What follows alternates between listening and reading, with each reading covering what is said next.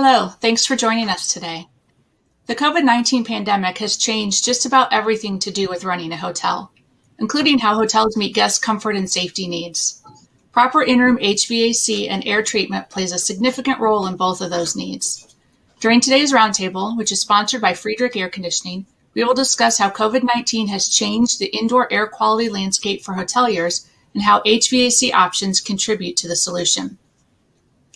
Our first panelist today is Terry Smith, Vice President of Engineering for Marriott International. Terry oversees a team of engineers responsible for design and construction of all global new build and conversion projects in the Marriott portfolio and is responsible for developing, maintaining, and producing global engineering design standards for all 30 Marriott brands. Also joining us is Carl Wren, Senior Vice President at Concord Hospitality.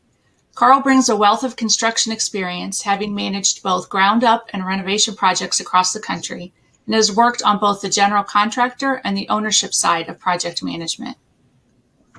Lew Harriman, our next panelist, former Director of Research for Mason Grant Consulting, is a fellow, life member, and distinguished lecturer of the American Society of Heating, Refrigerating, and Air Conditioning Engineers, and a member of the Indoor Air Quality Hall of Fame. Since January 2020, he has served as a volunteer consultant to ASHRAE's COVID-19 Epidemic Task Force. Our fourth panelist is TJ Wheeler, Senior Vice President of Sales and Marketing for Friedrich Air Conditioning. During his tenure, he has led the product marketing and sales groups towards several of the company's most innovative milestones, including the industry's first Wi-Fi connected room air conditioner and the launches of the VRP and Fresh Air PTAC product lines. Welcome, everyone. Before we dive into our topic, two quick notes for the audience. If you have any questions for our panelists as we go along, please add them on the left side of your screen in the Q&A tab, and we'll try to get to them at the end. There's also downloadable information about Friedrich's VRP system under the Handouts tab, which also can be found on the left side of your screen. So welcome, gentlemen. Thanks for joining us today and uh, offering your expertise. We're going to start with Terry uh, with our first question. We know that guest room air quality was a major initiative before COVID. So how significantly has it been elevated since? What's what's the feeling around it nowadays? So, good afternoon, everybody. Um, uh, great to be here, and, and, thanks for every, everybody participating. So, I think for probably the last 10, 15 years at Marriott, we've taken a lot of pride in trying to make sure that we provide indoor air quality to customers in, in guest rooms.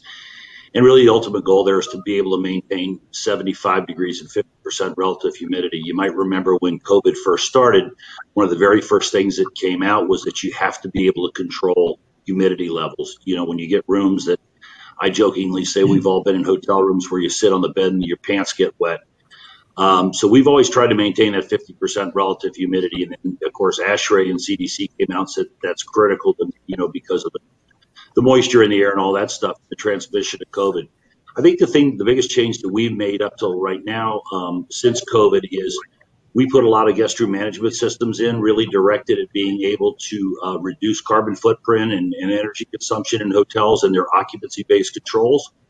So that when a guest leaves or uh, a room or a room is unoccupied, we can get control of those systems. We put a lot of those things in hibernation during this time, which includes in a lot of a lot of hotels also includes the ventilation system. So we're basically running those air conditioning, heating, cooling, dehumidification systems and ventilation systems 24 7, whether a room is occupied or not. Mm-hmm. That probably makes a big difference, especially in properties that are closed. I mean, you want to keep them in as good of condition and as safe as possible for when when everything reopens. Yeah, absolutely. I mean, it's a you know one of the things we said when this thing started and hotels started closing. You can't just put a set of chains and a padlock on the front door you got to keep systems running. You got to keep heating, cooling, dehumidification, ventilation systems running. Domestic hot water was a big one, right? Because of potential for Legionella growth and all that kind of stuff. So even though hotels were closed, they were still having to consume a tremendous amount of energy to keep them going while while they were while they were closed. Mm-hmm. So, Carl, from your side of the business, how is is you know this being elevated now since COVID? I think pre pre COVID, you know, one of all the things that Terry said, and, and the biggest one that we saw, I think, over the last 10, 15 years was the fresh air requirement to every single guest room.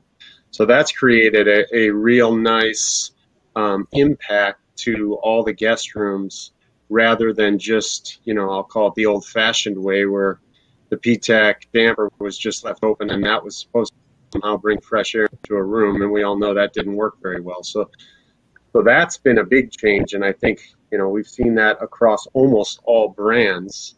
And then post COVID, you know, there, you know, everything came out at once. And then we all thought about changing the whole system and and MERV 19 or MERV 20 and this you know and and uh, treating treating the air with you know gamma rays and this and that. And like Terry and I have talked about there's been so much information that's come at us all that you know it's it's been information overload. And where we've come back to now at Concord is is maybe an increase in just simple filter size. So going to like just a simple MERV 13 filter. Um, even in some of the, the newer hotels that we're designing, we're looking at, I'll, I'll call it a Molekule, which is a name brand, but an air purifier inside the room that simply plugs in. The only thing we got to figure out is figure out how people don't walk away with those uh, little systems.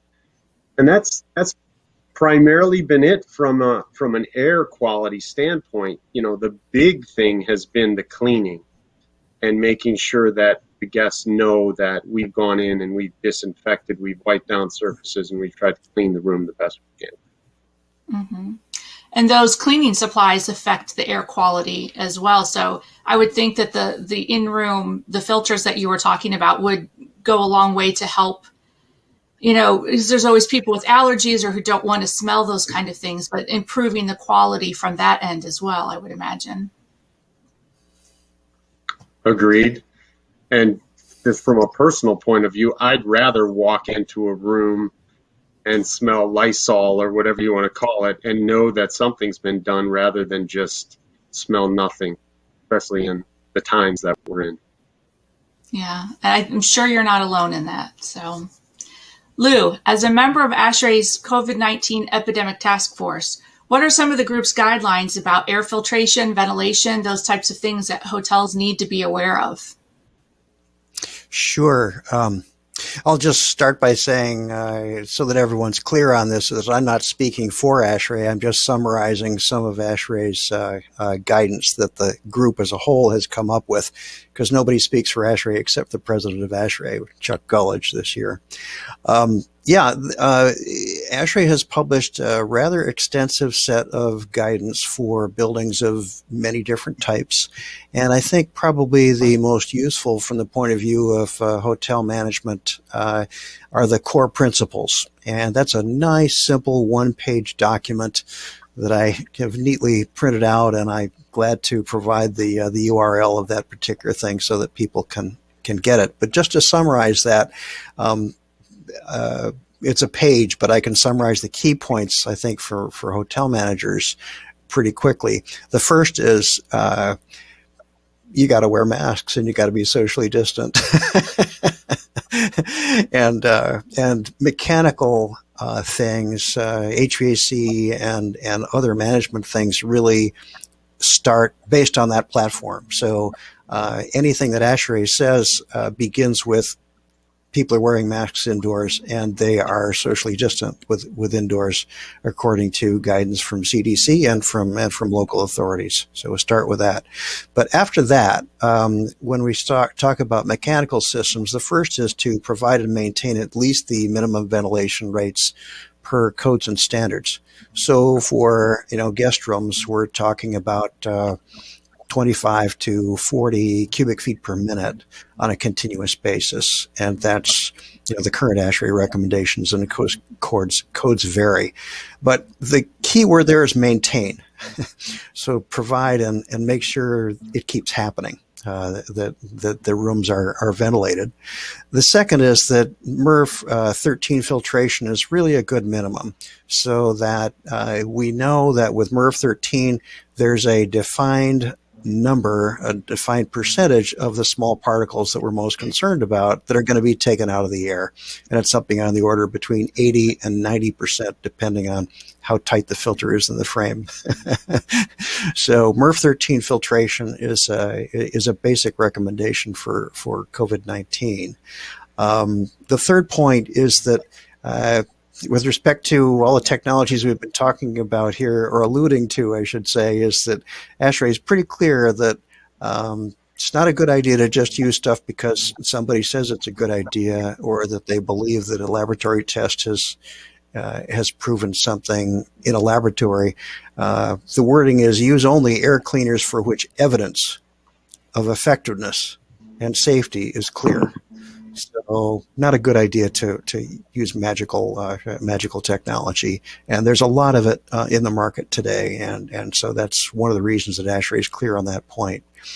Um, finally, um, one thing is that air changes between occupancies, and this is probably something that that that is worth thinking about from a management point of view the the subject of of uh, of cross contamination between occupants uh, subsequent to each other. So you've got you got somebody coming into a room, and then eventually you've got someone else coming into that same room.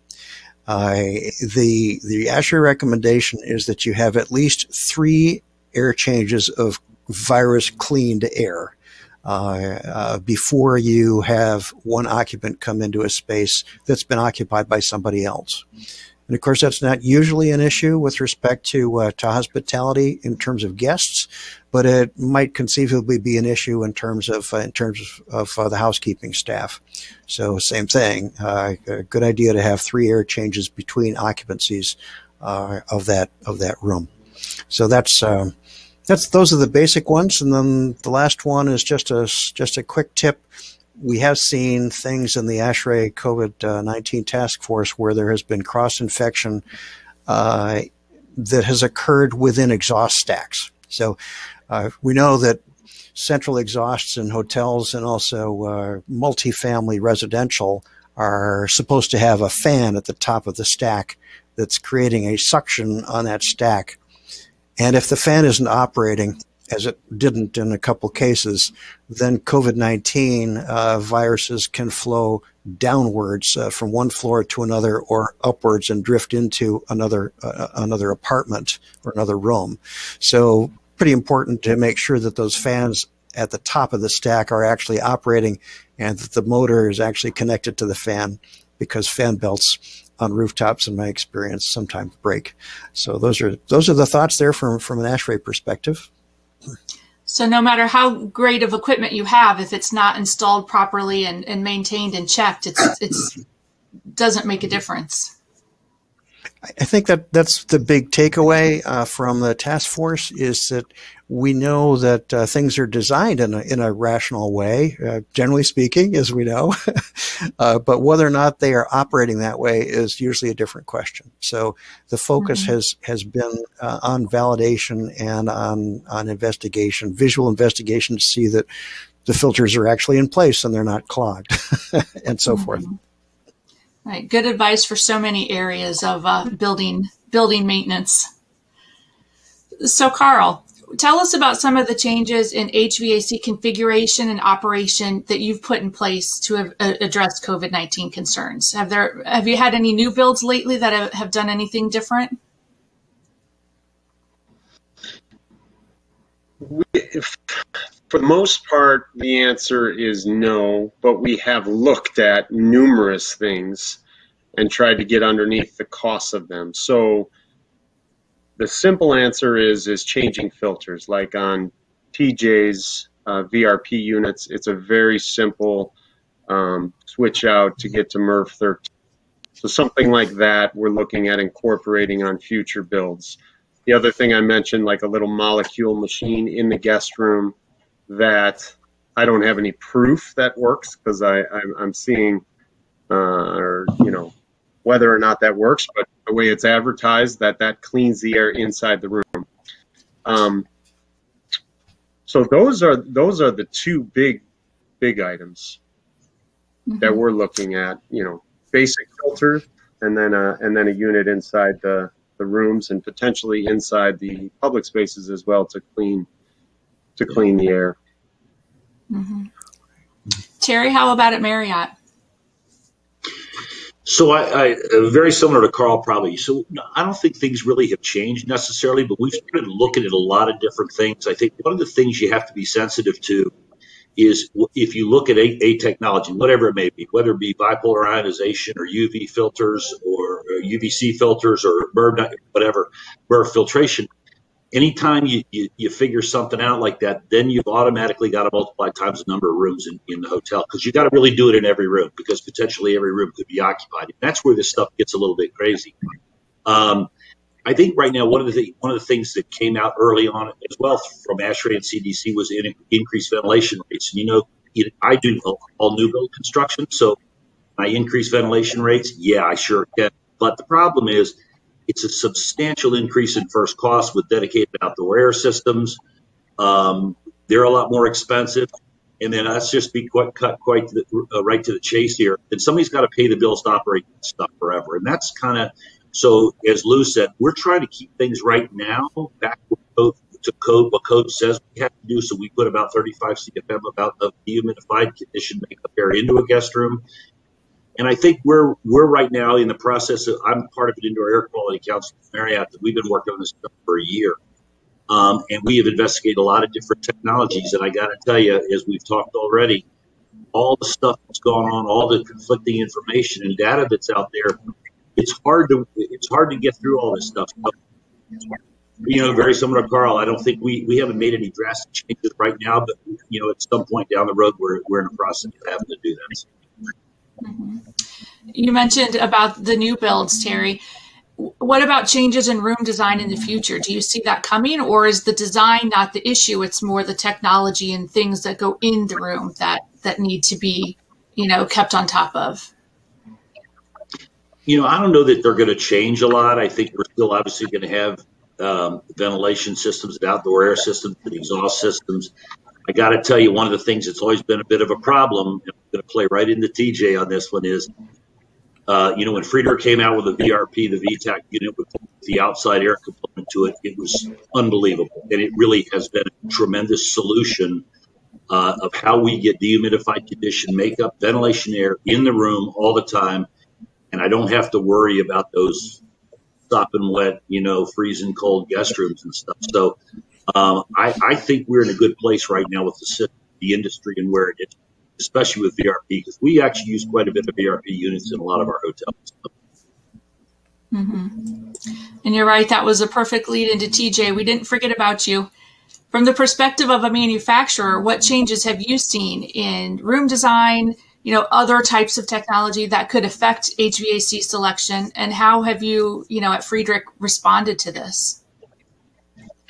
Uh, good, yeah, good question, and, yeah, great. I mean, really, all the questions leading up to, to this one um, are, are really um, germane to how Friedrich has approached the, the, the um, adoption or the innovation of new technology. So, our you know our goal several years ago was to set out and see how we could solve problems and emerging problems in um, the lodging segment. So, you know, as Terry was alluding to, you know, we've uh, we've worked very closely with Terry and, and others, and, and, Carl and others in the in the in the industry um, to, to identify what those challenges are. So rooms are getting smaller, they're getting tighter. So there so there's no longer even though you couldn't really design for it, there used to be a lot of air leakage, right? So you you naturally got fresh air inside of a room, um, even though you didn't plan for it or design to it.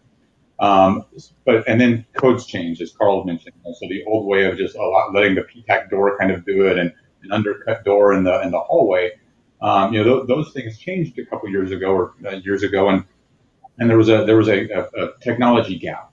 So what we set out to do with products like the VRP, um, with the fresh air technology, was take a room by room approach to to ensuring that you could have consistent conditioned air, but also con- consistent conditioned makeup air through know, going into each individual room, as opposed to trying to rely on a massive system and very complicated and complex systems. Kind of, you know, uh, Lew mentioned the you know the exhaust fans and um, the, the, the, need for operability. You know, we, we address this on a room by room basis, and think of this as really um, a, a, several pieces to an indoor air quality puzzle, and it starts with heat and air conditioning, which is common, and then and then dehumidification, which is a common problem we try to solve with air conditioners, but um, unless you have technology like hot gas reheat um, or, or, other things where you can continue to operate that um, you know below the set point and, and continue to wring out moisture, you know you're not really um, you're not able to do as, as effectively as one would, would typically like.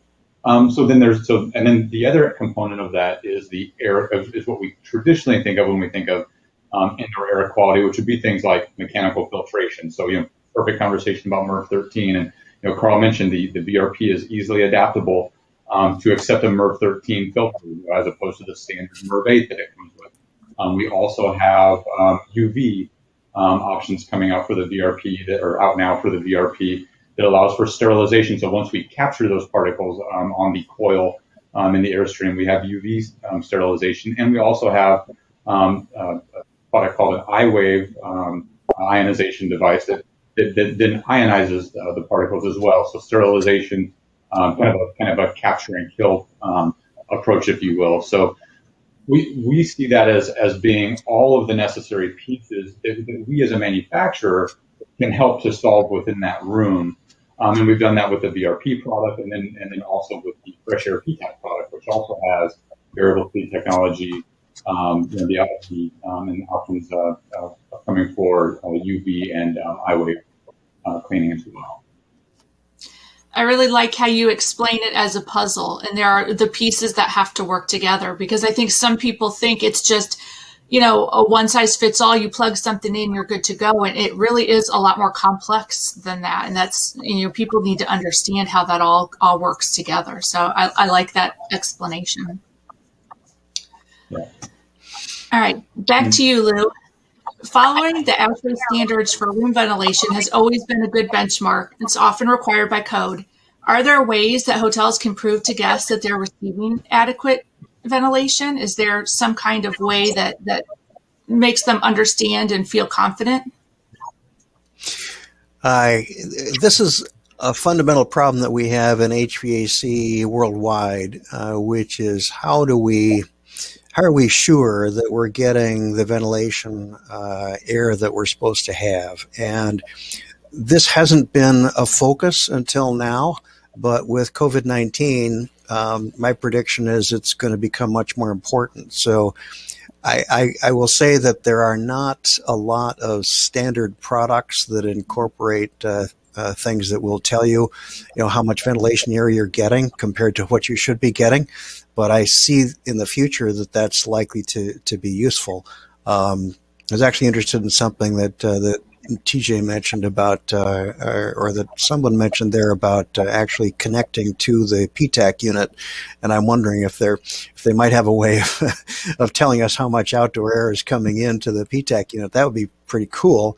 Another another thing that I could see happening in the future is uh, CO2 monitoring, because CO2 monitors uh, low cost well, relatively low cost. Again, to your to your point, Terry, when you multiply it by the number of rooms that Marriott has, it's a pretty big, scary number. But um, but uh, a wall-mounted uh, LCD that has a reasonably and appropriately accurate uh, CO2 sensor um, is not a terribly expensive device anymore. It used to be a $600 device. Now it's a $100 device uh, and battery powered and so forth. So if you had a concentration of carbon dioxide overnight of more than a thousand parts per million, then that's probably a pretty good indication that you're not getting enough ventilation air because that 25 or 35 CFM that, that, that, that's supposed to be flooding through there is going to take care of that in a real hurry and keep it well under a thousand parts per million.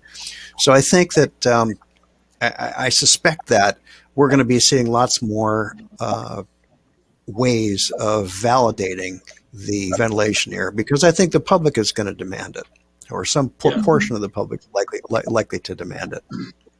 Mm-hmm. I'm surprised that more companies don't include it in their um, their clean programs that they've been marketing that says, you know, we use these cleaning products. This is our procedure for cleaning before a guest uses the room.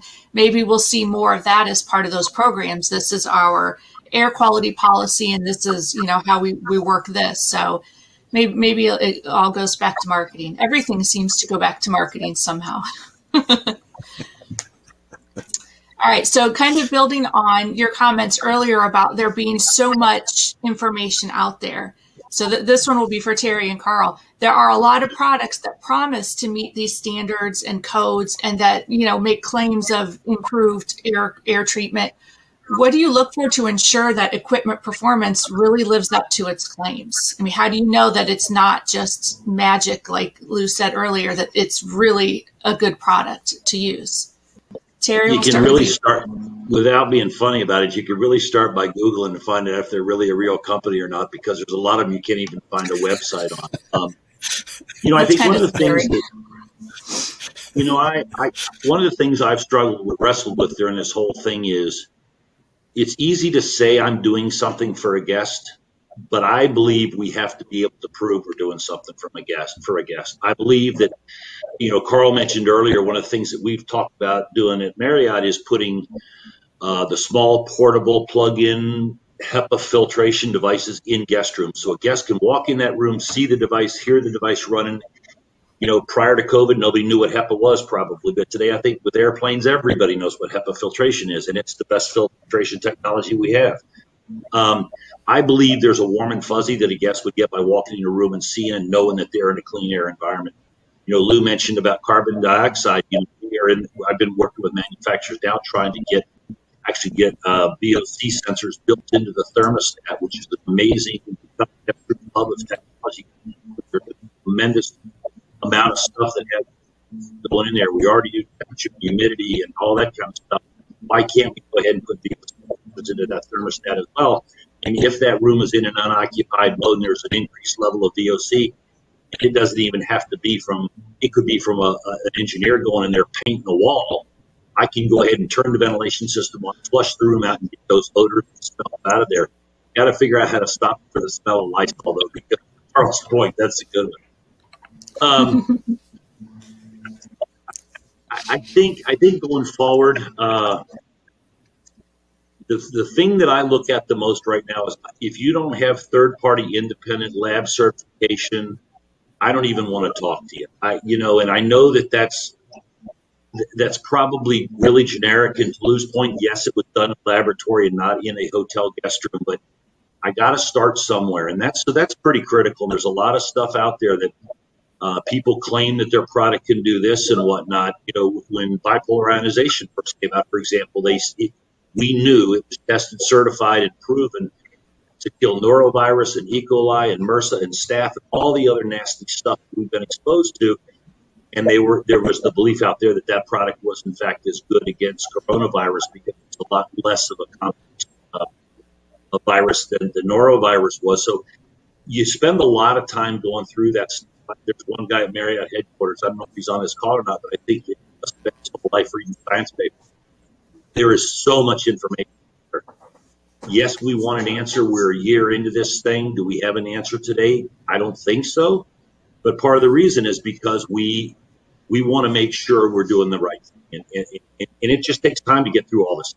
So, I, I, can see it now. Lysol's next big product, a little plug-in, you know, air freshener, and it, it, smells like the product, so that everyone thinks that everything's nice and clean. We'll have to trademark that somehow. Yeah. that, that would be what we would call a very bad idea.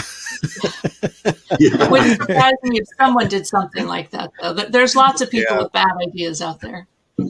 How about you, Carl? What do you look for when you're you're trying to make sure those claims live up to their, you know, to what they're really saying? So I think there's two aspects to this. The one is Terry just hit, and he's he's right on. You know, we look for our trusted mechanical engineers and third party testing reports and stuff like that to make sure that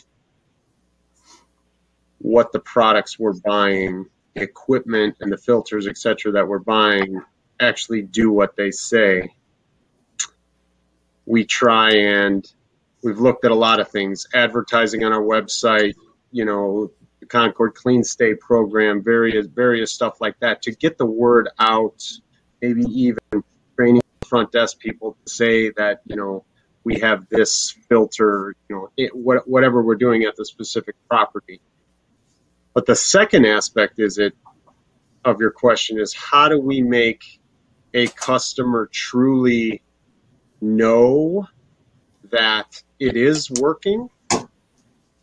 I don't think anybody's figured that out yet. I think I think Lew, you know, just said it. That that's that's a great question. I mean,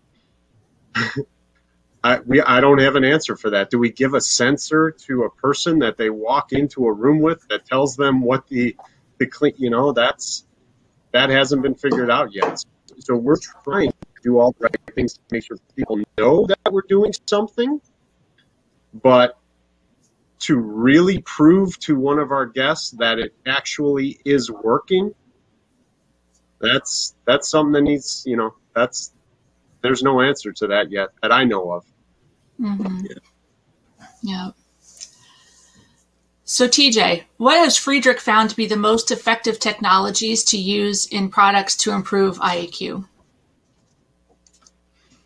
Um, you know, almost going back to my, you know, my first response, which was, you know, listening and watching what's what's really going on. So, with, with the smaller room sizes, um, you know, one of the things that we've done is is made, uh, you know, variable capacity equipment right? They can they can adjust. You know, so so um, you know the VRP and the Fresh Air PTAC both both have inverter technology that can you know can shed the, the capacity and and adjust not only to the demand of the room but also work in smaller rooms.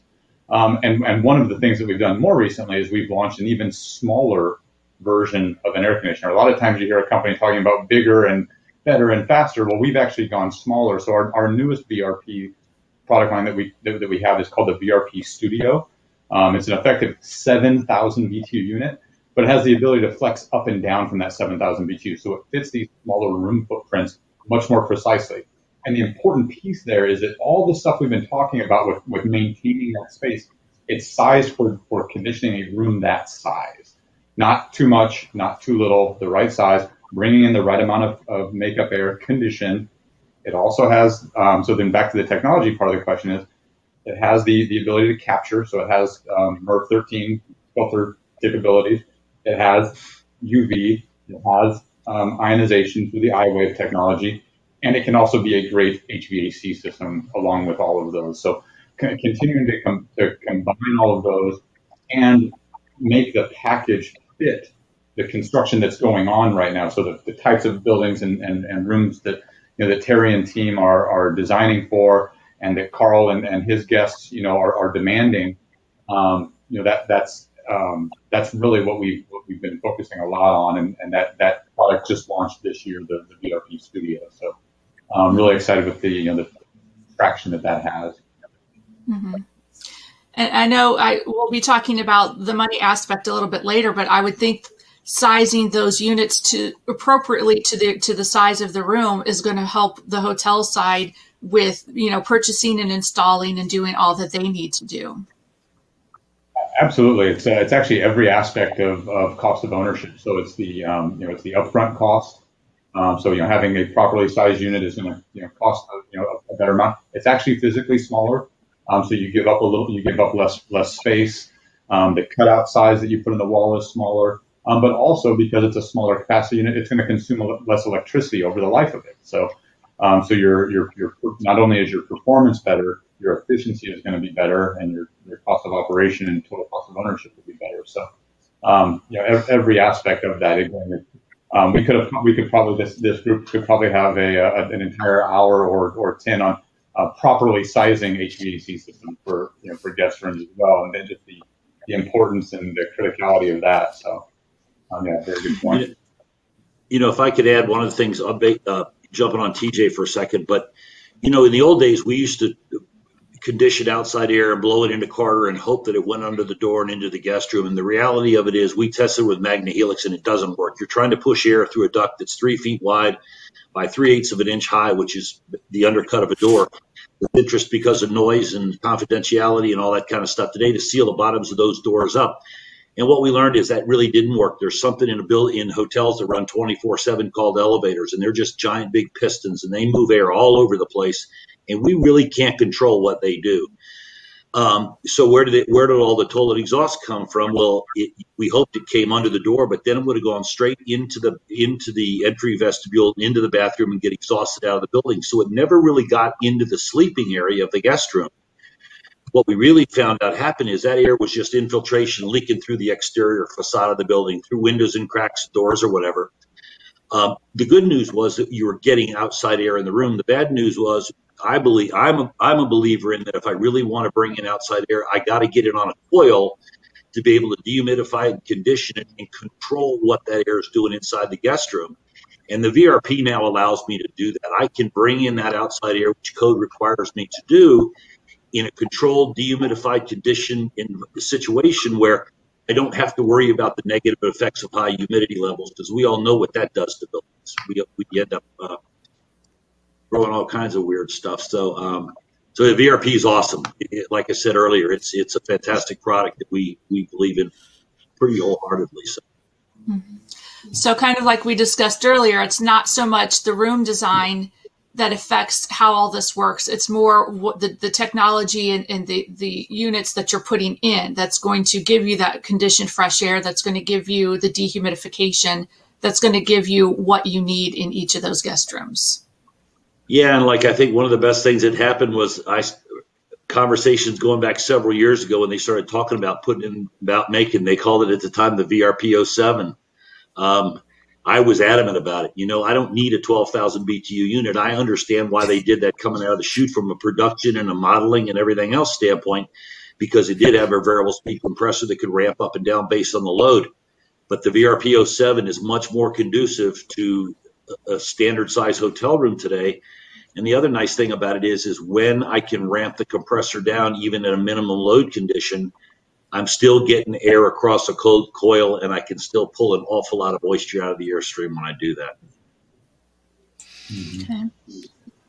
So TJ, I don't know if you want to talk a little bit more about the CFA and and, and how how you uh, your systems really you know cover that from beginning to end.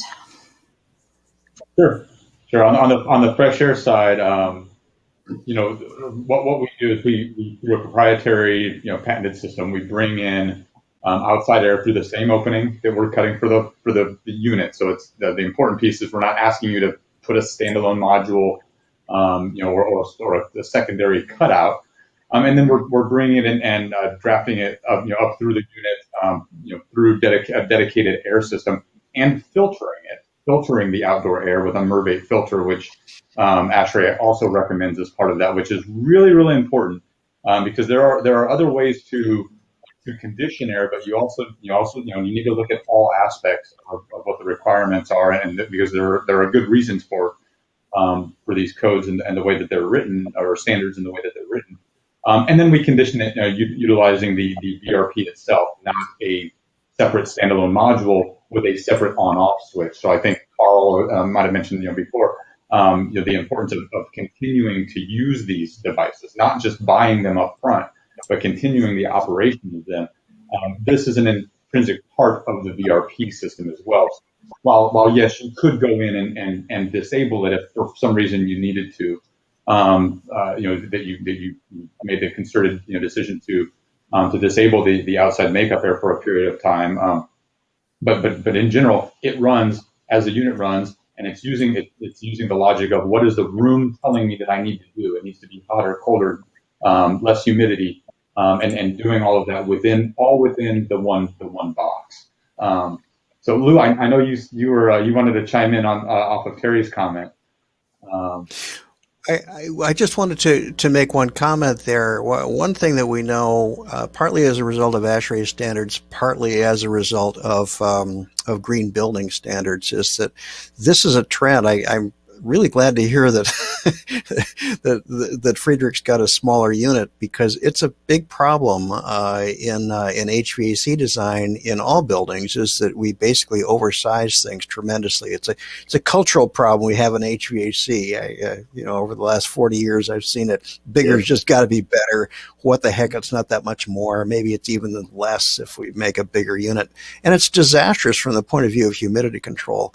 So um, when you when you combine terrific insulation, uh, much better windows, okay, and real air tightness in buildings, and then you add LED lighting to that, what you have is really reduced loads on top of loads that were already small uh, in many parts of, uh, of a hospitality uh, uh, structure. So, um, you know, the fact that, you know, smaller units are available this is great because on the residential side, there's a very serious problem with with lack of good products in the very small sizes, because we don't have two ton loads for air conditioning in the northern tier in, in single family residences at 2,400 square feet. You just don't have that, so you can't get a good you know half ton cooling unit for a residence. And I'm really glad to, to hear that, uh, that, that that room units are are now available for. Uh, Uh, in the smaller sizes with variable capacity as well. That's just great to hear from my point of view as someone who's looked at the HVAC industry as a whole. Mm-hmm. Yeah, one of the things that I do that we've talked a lot about, and I've talked to TJ and, and the guys at Friedrich about it, and I say to a lot of engineers is a hotel peaks at four o'clock in the afternoon facing due west in the middle of August. And what's the common denominator to most hotel rooms then? They're empty. So there is no load to speak of. So when the load hits, we're nowhere near peak, and that's why the seven thousand because it'll go down to like twenty five percent capacity, right, on the minimum setting. So I can take a load awfully low and, and, and really run the unit the way it's supposed to be run. So that ties into one of the questions. That the, Go ahead, Carl. Sorry, I was just going to say TJ, TJ promised that the uh, the VRP 07 was going to be 25% of the cost of the original VRP, right? That's great. so glad to hear that. This actually all ties in with a question from the audience about will Friedrich introduce a PTAC with speed compression that will modulate down to 3,000 or 4,000 BTUs, depending on the load um, because this this uh, this audience member is in New England and says that um, manual J load calculations around 4,000 BTU cooling, so they would be very interested in you know something that went down to those levels. Is that is that in the works? Uh, it's actually uh, on the market. Um, so about uh, two years ago, we launched what we call the Fresh Air PTAC, um, and we named it that because of the fresh air capabilities and the makeup air and IAQ aspect but one of the things that you also get, the reason that we can condition that air constantly is because it's got a variable speed compressor, an inverter compressor, um, and can condition down to that three or 4,000 BTU level. So um, uh, we can, you know, tie in some, I think, I think um, our handout here is about the VRP, um, but we also have one for the, for the fresh air PTAC, um, yeah. you know, that, that uh, have that exact, to be able to solve that exact problem. Perfect. That, that would be a, a great way to uh, come out of this with um, helping both sides, the you and the uh, the hotel owner. Wonderful. All right. Speaking of the money issue, which we have you know brought up a couple of times, money is a huge issue for everyone in the hotel industry. You know, given this environment. Does a focus on indoor air quality affect the bottom line, and can it be a benefit to the bottom line? Carl. So it's it there's definitely a cost associated, and it depends on what level. We you've heard different ionization, you know, um, filtration. There's Molekule, etc. There's so there's different effects to the bottom line, but there's definitely an effect to the bottom line. Um, but it's an important thing right now. So so we're looking and implementing some of those things in some of our hotels, uh, even though it does affect the bottom line and there's there's always uh, something else that uh, Terry and his team of uh, of you know the guys over in the design and construction division over at Marriott or any of the other brands that are willing to help. Hey, if we want, if we need to get uh, 700 bucks a room out, they're willing to work with us so that we can make an improvement in another area. So we've had those conversations, and those those are those are very important conversations to have right now. Yeah. Mm-hmm. That's what you're finding, Terry? Yeah, you know, it's um, I, I, you got to think about bottom line, right? Every people don't build hotels for nothing, right? They build them as a business and they make money and understand that. And, and outdoor air, when you when you calculate out the energy cost of heating, cooling, and dehumidifying outdoor air, 365 days a year, it's a lot of money. And it's easy to say increase ventilation rates and just pump more stuff in, but I think I think the, the, the, code levels where they are right now from an indoor air quality standpoint re- regarding the amount of outside air we pump in buildings, I think we're going to try to keep that kind of where it is right now. But I think there's more effective control systems and things we could do to better, you know, to make that, you know, less burdensome on the bottom line.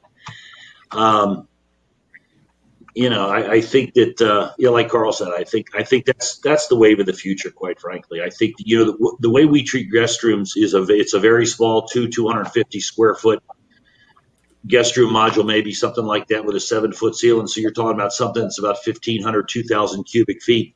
It's a very small, confined space that I think we could have a tremendous impact on. Um, but you got to think about the bottom line of stuff. It's easy to just say spend more money, but I don't think that's ever going to be the right answer.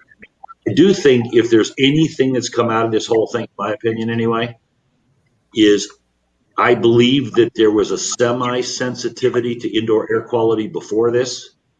It's a shame it's taken something this catastrophic to do it to, to raise people's awareness about indoor air quality, but I think it really has forced um, kind of forced everybody's hand in the industry and hotel ownership groups and management groups and everybody else to really take this stuff serious. I don't think this is going away, and I don't think it should go away, quite frankly.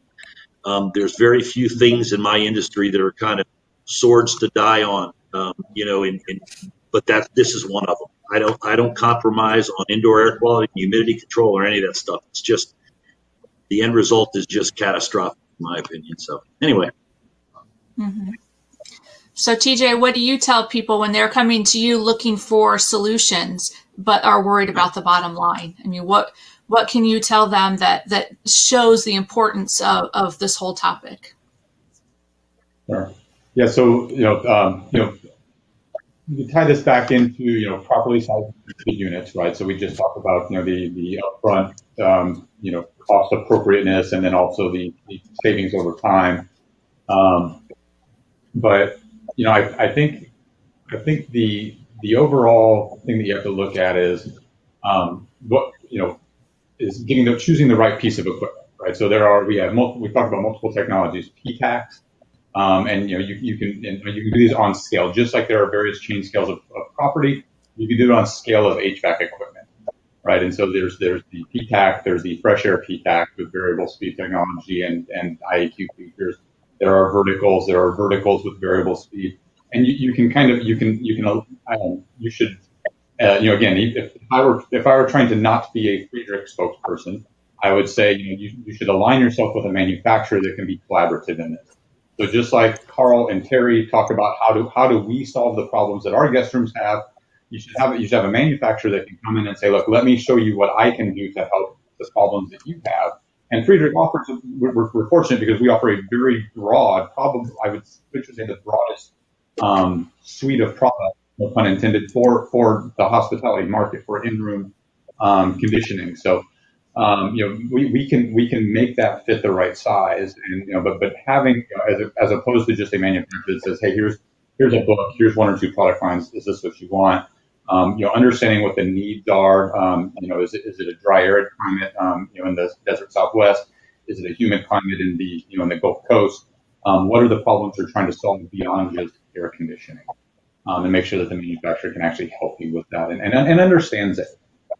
Um, and I, yeah. so I think that's that's one of the ways that's the way that we all that's the way that we have approached our product development and our go to market. So um, is, is that collaborative um, again understanding that the cost is a, is a big driver. Yeah.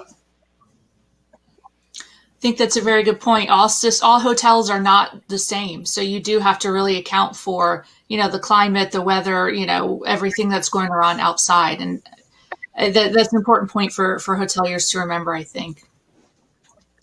All right, we have a few questions from the audience now I want to bring up. Um, one is Do you have any recommendations for retrofitting systems that are older, maybe not working at the current recommended levels? I, am I'm, I'm guessing this is someone who can't completely upgrade right at this point. So, what can they do? Any, you know, without go short of re reinstalling. Go ahead, Lew. Uh, I think that uh, one of the solutions that Carl mentioned and uh, and also Terry is a pretty good solution in terms of filtration. A portable HEPA uh, air cleaner in the rooms is probably the most effective way to get at the filtration problem. Um, MERV 13 for uh, for older style uh, PTAC units is probably not a practical thing. Uh, it's probably going to really mess up performance. So if if you don't have a something with a little bit of beef into it is apparently uh, uh, TJ stuff does, then probably a portable uh, HEPA is a very good idea in rooms. Uh, to Carl's point, I don't know how you keep people from walking away with it, but uh, but but for sure that that would uh, go a long way towards uh, implementing the ASHRAE recommendations about about air cleaning and especially air cleaning between between guests and between the housekeeping staff and guests. Portable HEPAs are a good idea. They work. We know they work um, and they're very effective for for COVID nineteen. And one of the benefits you have by going that route is if you have a hundred room hotel, let's say you could buy 10 or 15 percent of inventory, so you could buy 10 or 15 units. You don't have to buy one per room, whereas some of this other technology, you got to go put one in every single room, and that's where the cost goes up, quite frankly. Especially when you got hotels out there running 10, 15, 20 percent occupancy, right? Mm-hmm. So, kind of uh, building on that, another question is about is pertaining to the number of air changes needed between occupancy that has been mentioned several times. How what are the procedures of making sure that that happens of identifying that time between you know air changes and then next occupancy? Is there some way? What's the best way to measure that so that you're following that appropriately? There's no easy way to measure that. Um, I'll, I'll, give you a couple suggestions. One is that if you if you have a, a portable uh, a HEPA, then it's a pretty easy thing because you can calculate the airflow, the cubic feet per minute, uh, uh, compared to the cubic volume of the space.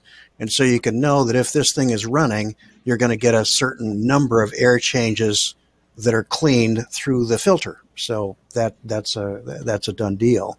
So the other thing to do, which is an, a relatively easy thing, again for the more modest properties, uh, is open the windows. okay, in the right weather, of course, but we're we're approaching reasonable weather, um, and and that would be another thing to do. And especially in terms of housekeeping, one could imagine a protocol where you come in, open the window, clean, and then you know close the window. Um, you know some number of, of minutes afterwards. That's not an easy thing to calculate. Uh, the easiest thing to calculate is, is when you have a portable HEPA because you know what the airflow is and you know how, how, how much is being cleaned. Yeah. Mm-hmm. All right. This has been mentioned, uh, I think, once or twice. What is your position on the bipolar ionization units in public areas and in guest rooms? Yay or nay? Go ahead, Lew. I, am not persuaded that they're a good idea. Um, because my my my view is that I have not seen conv- compelling evidence that they do anything uh, of any consequence with respect to COVID 19.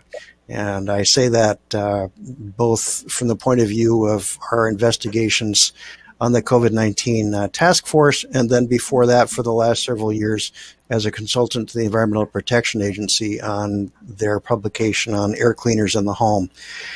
I wish I could be more positive about bipolar ionization, but I don't see uh, compelling evidence that this is uh, a practical matter to achieve the amount of ionization that you would need to uh, to do anything uh, uh, beyond what uh, a filter would do. A filter we know works. bipolar ionization, we do not know that. Uh, so I haven't found I haven't found compelling evidence that it's a good idea. My view is uh, ultraviolet uh, for in room uh, as opposed to in duct is probably something that we will see. Uh, we know that it's effective in hospitals. It has a 30 year track record of success in terms of sterilization of both air and uh, uh, and surfaces. So I think ultraviolet for upper air disinfection um, is going to be something that we'll see in restaurants and in auditoriums and uh, bars and places like that because we know it works. We know it uh, it does away with viruses very quickly. That's not something that's being used extensively now, partly because tough to get a hold of. It's very much in demand. But bipolar ionization, my view is, I wouldn't bother with that. I'd put my money into filtration because we know it works. Terry. Yeah, so um, I mean, you know, it's it's interesting. I saw that question come up about the way you treat that, you know, two 2,500 cubic foot guest room and the way I treat a million and a half cubic feet exhibit hall are two totally different animals. Um, and part and part of the struggle that I've got is because I do a, a lot of full service hotel work as well as figuring out what do we do in both. And the answer may not always be the same. I do think UVC filter banks in big air handling units are great, but what worries me about it is is that um, they're expensive to buy. If to Lew's point, you can't get them today. They're expensive to buy. The lamp replacement lamps are horrendously expensive. I worry. Okay, we solve a problem right now, but what happens? You know, whatever years down the road when the lamps burn out. Um, I also don't think you know UVC is a great technology for killing what it sees. If the light hits it, it is in fact going to disinfect it. But what about the stuff it doesn't see? And there's a lot of spaces in just a plain old meeting room that the UV UVC lights never going to hit. So that I work. I'll go against Lew here, and he and I talked about this months ago. Um, I've seen because there's a bunch of bipolar ionization on the market. I have seen and looked at a bunch of different ones. A bunch, of, quite frankly, a bunch of them I wouldn't touch. There are a couple out there that have got third-party independent lab certification to deactivate COVID. Um, I think it's a great technology, in my opinion, uh, for big central station air handling units. Um, guest rooms, it gets a bit pricey, like we've talked about so many times before. But again, time is going to tell. I think that we, uh, I think we just keep digging into this stuff and trying to understand this technology better and what it, you know. I think there's so much product on the market that doesn't work. I think it's easy for everybody to say that it's not good to do right now. And I'm not suggesting that Lew, you're wrong at all by any stretch of the imagination. But I think that's where we are today. Mm-hmm. All right. TJ, this one might be for you. Um, is there are there differences between VTAC and PTAC units when it comes to outside air and indoor air quality? Yeah, good question. And and um, so I'll speak from the Friedrich perspective um, because there are different um, outside air or makeup air PTACs and VTACs on the market, or at least ones that make claims of that. So when, when it comes to Friedrich, with our products under the Fresh Air banner, which include the VRP, the Fresh Air PTAC, um, they, they, are handled very similarly. Um, the, the PTAC itself has a has a dedicated air system, dedicated fan, MERV 8 filter that, that brings air in um, and utilizes the, the, air conditioning system itself, the PTAC system, not a standalone dehumidifier only um, module. So, um, so it can actually condition it, can make it warmer, colder, and dehumidify it um, as, as is needed to meet the conditions within the room. So for, for the Friedrich products, it's a very similar system, and that's why we have it under the same moniker of Fresh Air. Um, and it's just, you know, it's just the form factor that really differs there. Um, and, you know, obviously the ability to distribute the air, you know, differently throughout the, um, throughout the space. But, uh, but our PTAC our fresh air PTAC works very similarly to our fresh air system and our VRP, um, and that it is dedicated and and um, part of the system itself, or the, the main the main system, which can do what we say to boil it down is it can do a lot more work than a than a modular system than a than the, you know, the equipment with just a little module. Mm-hmm. All right, this question is a little less about the equipment and more about what we were talking about about communicating with guests. Do you foresee that facilities will need to post publicly, similar to an elevator permit, that the facility is clean to a specific standard and meets or exceeds these requirements, and also for, for the air the air cleaning? Think that will ever be a thing? No, Carl. It's a tough one. Yeah. That is a tough one. I think it's well. See how we come out of this pandemic, and if things continue to go well, I would. My guess would be probably not. Um, that would be my guess right now. Possible. Lewis, what do you think? Well, I, I, I, I definitely think that there's going to be a, um, some proportion of the public that's going to want uh, assurance that that that covers some standard. Uh, that's say, okay. There's good air quality according to this metric, and within ASHRAE, I know um, the society is struggling with uh, how to quantify, for example, volatile organic compounds. Not all volatile organics are the same concern, but the sensors right now measure the ones that are affordable, uh, you know, measure a broad base of volatile organics. So if, for example, you were peeling a tangerine next to one of those, as I've done, uh, you would get a, a, very unfortunate signal that would suggest you were in deep peril because of limonene. Limonene is one of the volatile organics that uh, um, that is measured by a broad base uh, volatile organic sensor. So there are definitely problems with uh, with uh, with validation.